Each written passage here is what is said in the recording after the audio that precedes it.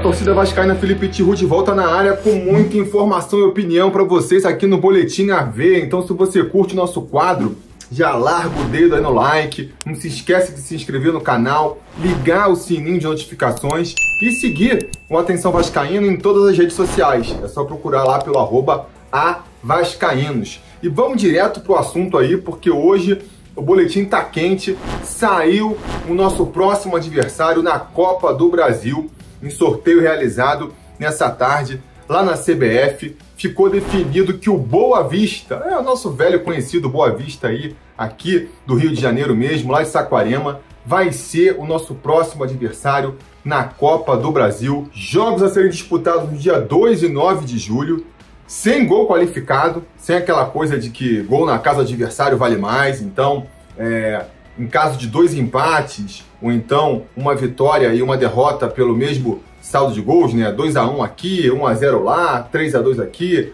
4 a 3 lá. Resultado é, é, é decisão dos pênaltis, né? Vai para os pênaltis. E quem ganhar na decisão por pênaltis avança para a próxima fase, né? O Boa Vista, que, que eu comentei, é velho conhecido da torcida vascaína, estamos sempre enfrentando aí na, na, no Campeonato Carioca. Foi, inclusive, nosso último adversário, literalmente, o adversário que a gente enfrentou no domingo foi o Boa Vista, empate em 2 a 2 Então, é do técnico Leandrão, que, que jogou no Vasco aí a, a, em 2015, não é mesmo? Agora virou, era nosso atacante, virou o técnico do Boa Vista. Tem o Eric Flores, que fez sucesso aí já no futebol, não é mesmo? O Jean, que o Vasco estava tá interessado, há quem diga que possa até pintar em São Januário mais na frente na temporada, lateral Jean. Tem também o Jusilei, que né, lembra que desprezou o Vasco recentemente, foi parar lá no, no Boa Vista. Aqueles jogadores né, que são consagrados, estão sempre rodando aí pelo futebol carioca. O Boa Vista também, que é um clube novo, né? E não tem muita tradição na Copa do Brasil já disputou a competição seis vezes. Em cinco dessas seis vezes foi eliminado logo na primeira fase. E na vez que avançou um pouco mais, avançou até a terceira fase da Copa do Brasil, que é justamente né, a fase em que a gente se encontra. Então, se tudo der certo, eles vão continuar sem conseguir ir mais além. O Vasco que não sabe ainda também quem vai ser seu próximo adversário, né? Caso passe pelo Boa Vista aí, que a gente acredita que vai passar, não sabemos quem a gente vai enfrentar na próxima, na próxima fase, né, na quarta fase, que é também a oitava de final da Copa do Brasil, porque aí será feito um novo sorteio com os 16 clubes que passarem dessa terceira fase, e aí sim, já com o chaveamento certinho, aí a gente vai poder saber e fazer ali os cálculos de todo o nosso caminho até a eventual final da Copa do Brasil. Bom, isso é o que a gente tem de informação sobre o nosso adversário, sobre o nosso confronto. Bom, isso é o que eu tinha aí para dar de informação sobre o nosso próximo adversário, esse confronto aí pela Copa do Brasil. Agora eu vou dar a minha opinião, o que, que eu acho aí de pegar o Boa Vista nessa terceira fase da Copa do Brasil.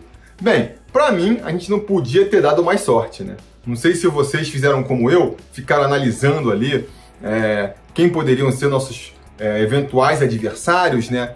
e também acompanharam no sorteio, foi emocionante. O Vasco foi só o último, estava ali. O último confronto a, a, ser sorteado foi justamente o confronto do Vasco, né? E não sei se vocês sabem, nessa fase ainda, é, os clubes foram divididos em dois grupos. O grupo ali dos, dos clubes melhores ranqueados, então são os clubes que estão disputando ali a Libertadores, a maioria deles clubes que estão na Série A, no Campeonato Brasileiro ainda, e os mais fracos, teoricamente mais fracos, no outro grupo, né? Só que tiveram ali algumas distorções. Então, por exemplo, no, no, no pote dos adversários do Vasco, eventuais adversários do Vasco, tinha o Red Bull Bragantino, que é um time que pô, fez um excelente campeonato brasileiro no ano passado. Tinha o Fortaleza, que é um time de Série A também, que eram os clubes que eu queria evitar a todo custo, né? Não queria o Vasco já pegando aí um time que está na Série A, que por conta disso, fatalmente, vai estar tá com mais dinheiro em caixa já nessa terceira fase da Copa do Brasil, né? E aí, conforme o sorteio foi, foi acontecendo, eles logo saíram. O Bragantino, o Red Bull vai pegar o Fluminense, o Fortaleza vai ter ali um clássico cearense com, com o Ceará, não é mesmo? Aí eu passei a torcer para o Vasco fugir de equipes que não estão na Série A, mas que são equipes tradicionais, que poderiam complicar, que nem é o caso do Vitória, que logo saiu também, vai pegar o Internacional. E aí foi. A, o pote foi rareando, os times foram saindo. E eu também, por outro lado, né, tava torcendo pro Vasco pegar o Boa Vista, que na minha opinião é o melhor adversário possível para o Vasco enfrentar. É o mais fraco que tinha, né? Um time pequeno do Rio de Janeiro. É... Tecnicamente falando, acho difícil de ter um time. Talvez tenham iguais, né? Mas não vai ter nenhum mais fraco do que o Boa Vista. E ainda por cima, tá no nosso estado, né? Então nem deslocamento, nem cansaço, desgaste de viagem a gente vai ter enfrentando o Boa Vista. Eu já tava com, esse, com esses times, né, esses adversários na cabeça, o sorteio foi rolando, foram saindo, o Vasco não saía de um lado, aí saiu o Red Bull Bragantino, saiu o Fortaleza, que eram os times que eu tava mais preocupado, ótimo, saiu o Vitória também, bom, né, que bom que saiu, e foi rareando ali, e, cara, foi, falei, ó, Boa Vista que eu tava torcendo não saiu, então a gente tem a sorte grande. Por outro lado, não saiu Curitiba também. Então a gente pode terminar com Curitiba, né, repetindo ali aquela final de 2011. Uma, foi uma final que traz boas recordações, é verdade, mas, cara, não queria pegar o Curitiba ainda, né? Time tradicional, mal bem. E, cara, quando foi fazer o último sorteio, né, a penúltima, os penúltimos confrontos a serem sorteados, saiu o Flamengo de um lado com Curitiba. E aí, pronto. É, melhor confronto possível se desenhou. A gente foi ver na, na foram tirar por praxe ali as últimas bolinhas. Vasco da Gama de um lado, Boa Vista do outro. Para completar aí a onda de sorte, a gente ainda ficou com o segundo jogo em casa, então devemos jogar a primeira partida lá em Bacaxá ou aonde o Boa Vista quiser é, levar seu mando e vamos fazer o segundo jogo em casa, né? Então assim é, é o melhor dos mundos, é o melhor dos mundos. A gente tem tudo para conseguir é, definir essa classificação ainda no primeiro jogo, né? Se tudo der certo, a gente consegue sair com uma vitória lá de Bacaxá, onde quer que seja, para ter, para não ter sustos. Acho que é, a partir dessa, dessa fase da Copa do Brasil, com confronto em duas partidas, elimina muito a chance de zebra. A gente enfrentou a Caldense a Tombense, que se bobearam times até mais difíceis do que o Boa Vista, em um jogo único, na casa do adversário. Então eu acho que foram confrontos mais complicados, né? Onde a chance de, de dar alguma zebra era maior. Conseguimos passar por esses jogos. Agora, cara, assim, a gente vai ter que respeitar o adversário. E o time do Vasco, eu tenho certeza que não vai entrar de salto alto, vai entrar respeitando o adversário. Se fizer isso, eu sinceramente não consigo imaginar como é que o Vasco vai é, ser eliminado nessa fase da Copa do Brasil. A gente tem tudo para passar, passar com tranquilidade sem é, passar nervoso, né? sem, sem desespero, e até isso vai ajudar a gente a, a focar um pouco mais no início da, da, Série B. Então a gente vai poder fazer um bom início de Série B também, que vai ser importante para o restante da temporada, não é mesmo? E aí eu acho que o Vasco vai conseguir é, cumprir a sua missão, vamos dizer assim, na Copa do Brasil. Né? Eu estabeleci, e acho que deve ser mais ou menos a métrica ali que o departamento de futebol do Vasco está estabelecendo também, de chegar pelo menos até as oitavas da Copa do Brasil.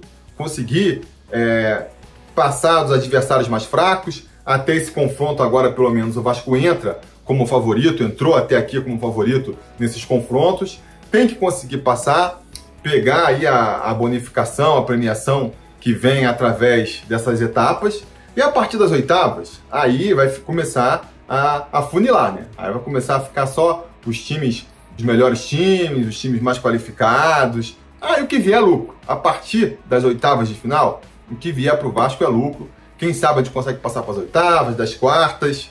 Vamos torcer, vamos torcer. Mas se a gente fizer aí, não pisar muito feio na bola, a gente consegue pelo menos é, esse passo inicial, que é chegar novamente nas oitavas de final da Copa do Brasil. Ah, a partir daí, seja o que Deus quiser. Não sei, o que, que vocês estão. Para mim, ó, para mim a sorte virou, o Vasco tá com muita sorte, tem mostrado isso em campo, né? A gente é, tem feito boas partidas, tem contado com a sorte também, e a sorte voltou fora de campo. Para mim, foi o melhor sorteio que, que poderia se desenhar para o Vasco, foi o que aconteceu, e eu estou muito confiante que a gente vai conseguir passar sem sustos dessa, de mais essa fase da Copa do Brasil. Mas agora eu quero saber a opinião de vocês. O que, que vocês estão achando? Estão confiantes? Estão nervosos? É, qual, é, qual é o sentimento de vocês em relação a esse confronto contra o Boa Vista? Digam nos comentários, quero saber a opinião de vocês. Mais tarde tem o AV News, o Flávio vai trazer muita informação sobre esse confronto ainda, então não percam à noite aí o AV News com o Flávio Dias, trazendo muito mais informação sobre esse Vasco e Boa Vista pela Copa do Brasil e o que mais estiver rolando aí é, sobre o Vasco da Gama. Amanhã tem jogo também, né, pelo Campeonato Carioca, mais um jogo de preparação para a gente chegar na ponta dos cascos nessa fase decisiva da temporada, que vai ser o início da Série B e também é, essas fases mais acima da Copa do Brasil. E a gente volta aí semana que vem com mais boletim a ver. Espero contar com a audiência de vocês. Até lá, a gente vai se falando.